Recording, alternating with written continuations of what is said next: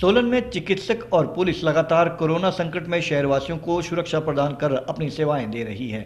सामाजिक संस्थाएँ और आमजन का मानना है कि इस समय चिकित्सकों और पुलिस का मनोबल बढ़ाने की आवश्यकता है ताकि वे बेहतर तरीके से अपनी सेवाएँ प्रदान कर सकें। इसलिए कुछ युवाओं ने पुलिस को सम्मानित करने का बीड़ा उठाया और शहर में तैनात पुलिस को फूल से सम्मानित किया और दिन रात सेवाएँ देने के लिए उनका धन्यवाद भी किया।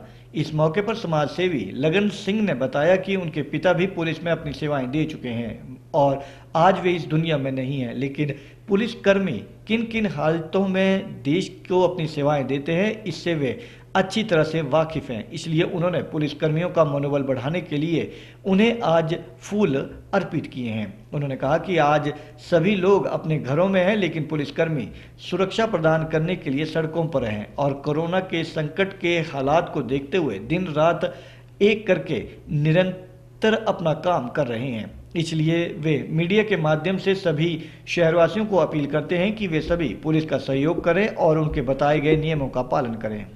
जो हम असली लड़ाई तो हमारे पुलिस वाले ही लड़ रहे हैं। डॉक्टर्स लड़ रहे हैं, जो असली कोरोना के वॉरियर हैं, वही लड़ाई लड़ रहे हैं। हम लोग तो अपने घरों में सेफ़ हैं और सुरक्षित हैं।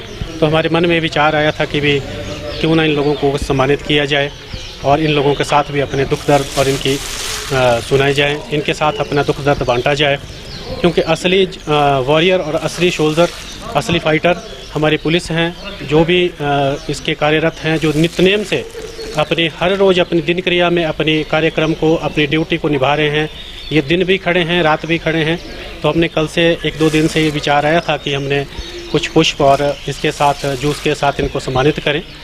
तो मैंने धर्मपुर कुम्हारट्टी पुलिस में और जितने भी पुलिस फ़ील्ड में ऑफिसर जहाँ जहाँ खड़े रह, मुझे मिलते हैं तो मैं ये जूस की एक सेवा इनके लिए अर्पित कर, सर मैं काफ़ी समय से ही एक, मेरे फादर भी एक पुलिस में ही थे, जो उन्नीस सौ छियासी में रिटायर हो गए थे, आज इस दुनिया में नहीं है। मेरे भाई साहब बड़े हेम सिंह, वो भी पुलिस में ही तैनात थे। तो मुझे शुरू से ही पुलिस के और पुलिस के स्वभाव से अच्छाई महसूस होती है। और एक हमेशा मैं अपनी सेवा और अपना सहायक, जब भी, जब मुझे भी कोई भी मौका मिलता है तो पुलिस डिपार्टमेंट से हमेशा अपनी सेवाएँ प्रदान करता रहता हूँ अपने परिवार से एक संदेश सारे लोगों को देना चाहता हूँ कि पुलिस वाले जो भी, जहाँ भी हों, उन्हें सम्मानित करें, उनका सहयोग दें और जो जो वो नित्य नियम बताएँ, उन नित्य नियमों पर चलें और कानून की उल्लंघना ना करें। तभी हम इस लड़ाई को पूरी लड़ सकेंगे, ताकि हम इस लड़ाई को जीत सकें और अपने समाज को फिर से अपने देश को प्रगति पे ला सकें।